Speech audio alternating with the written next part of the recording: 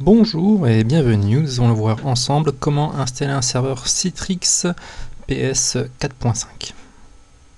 Alors la première étape va consister à aller sur le CD d'installation, on va faire un clic droit sur le lecteur CD et on va cliquer sur ouvrir.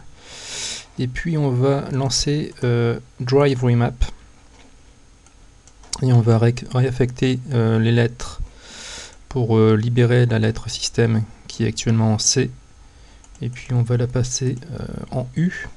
Et puis les autres lettres vont suivre, D va devenir V. Et on va cliquer on va par la suite sur OK avec une petite note au passage à savoir que ici on peut sélectionner une lettre, ce n'est pas grisé parce que au préalable j'ai passé le service pack 2. À savoir qu'au départ, je n'avais passé aucun service pack. Et ici, il ne m'était pas possible euh, de choisir euh, une lettre de destination. Ça ne fonctionnait pas. Donc voilà.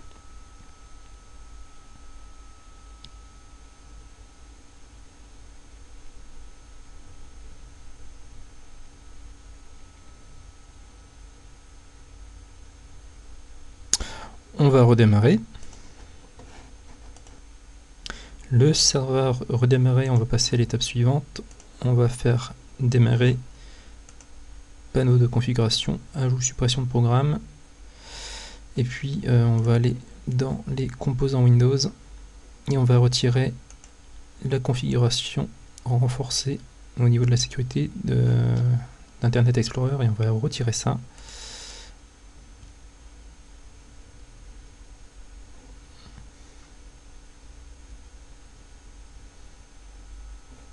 Voilà. On va maintenant installer euh, Terminal Server ici présent. On va cliquer sur suivant. On va sélectionner euh, sécurité totale. Et puis, euh, dans le cadre de cette présentation, on va prendre un serveur de licence euh, qui ne fonctionnera que pour 120 jours. Et on va cliquer sur suivant. On va prendre un mode de licence par utilisateur. On va cliquer sur suivant. Et on va cliquer sur terminer. Et on redémarre. On va lancer l'installation de présentation de serveur. On va donc sélectionner installation des produits et mise à jour. Et puis on va prendre euh, présentation serveur 4.5. On va accepter le contrat de licence. On va descendre en bas. On va cliquer sur suivant. On nous indique que euh, trois euh, composants au préalable vont être installés on va cliquer sur suivant. Ici, euh, le plus important euh, sera donc de choisir présentation serveur et puis il y aura les deux consoles de gestion qui sont associées et la documentation, on peut les garder et le service euh, de licence lui a été installé au préalable. Donc pas besoin de l'installer deux fois. Il a été mis sur un autre serveur. Donc là, on confirme qu'on n'a pas besoin du serveur de licence, il est déjà présent. Et on passe à la suite.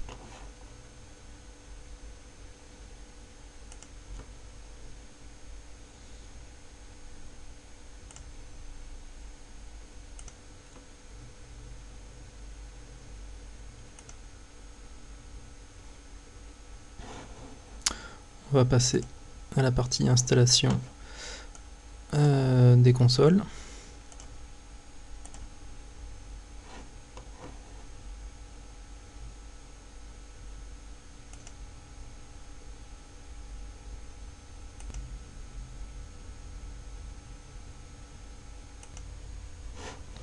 On clique sur terminer, on passe à la suite.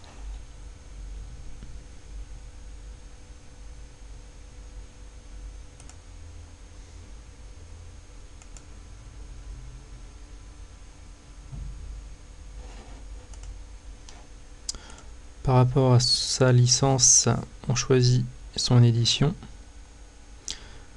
Donc on a ici un récapitulatif sommaire euh, des différentes versions.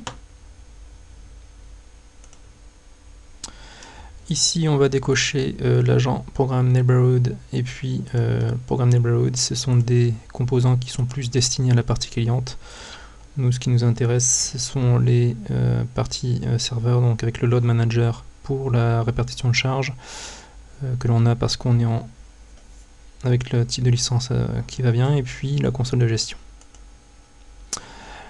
On est dans le cadre d'une toute première installation, donc on va créer notre batterie on va lui donner un nom.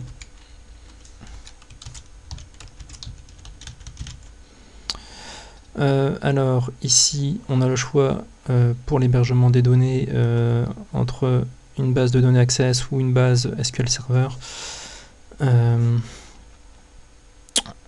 on va pour la démonstration prendre une base Access mais idéalement il faudrait basculer sur un serveur SQL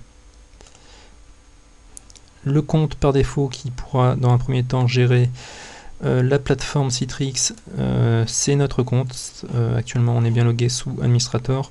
On pourra par la suite ajouter d'autres personnes. Ici, on peut laisser le cryptage IMA par défaut, sachant que par la suite, on peut le renforcer. Ici, on va indiquer le nom du serveur Citrix euh, existant, serveur de licence Citrix existant.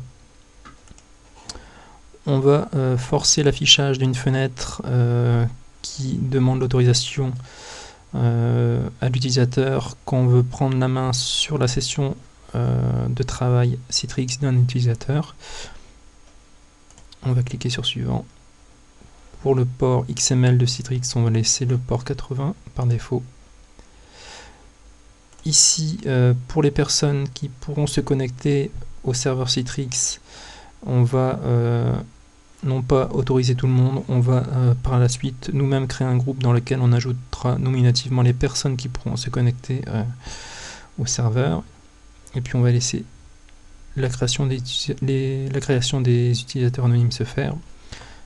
On clique sur suivant et on termine.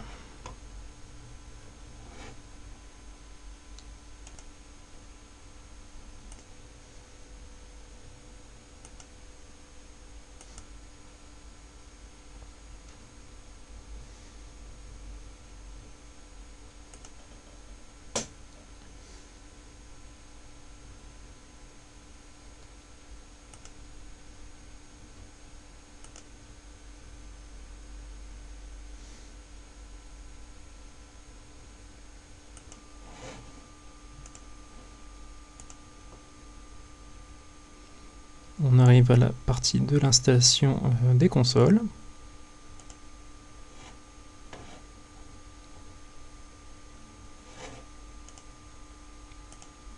On peut laisser le programme, enfin le chemin d'installation par défaut.